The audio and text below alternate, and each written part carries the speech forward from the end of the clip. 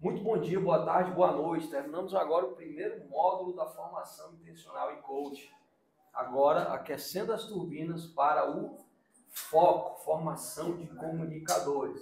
As inscrições começam nesta segunda-feira e eu tenho aqui quatro comunicadores para responderem por que vale a pena fazer o foco. Camila. Vale muito a pena porque conseguiu me destravar as barreiras foram quebradas e hoje eu consigo falar sem nenhum problema. Que fantástico. Fábio?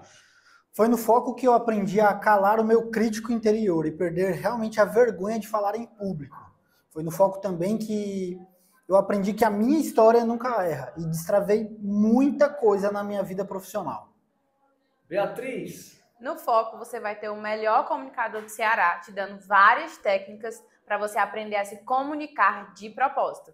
Ah, e mais uma dica, fica perto que dá certo. Fabiola. No foco, eu entendi que por mais que eu já tivesse uma boa expertise nessa parte de me comunicar com os outros, é, sempre tem algo novo a aprender. E eu percebi que antes de eu aprender a ser um comunicador, eu tenho que como eu me comporto, como eu funciono para poder comunicar com o outro. Ei, vem fazer o foco também para se unir a essa turma que comunica para fazer o bem e comunica intencionalmente. Então, para fazer tua inscrição, clica aqui ou então clica no link que está na bio. Estamos te esperando aqui. Hein? Esperamos, sim ou não? Com certeza. Valeu. Vem pro foco. tchau. tchau. tchau. tchau.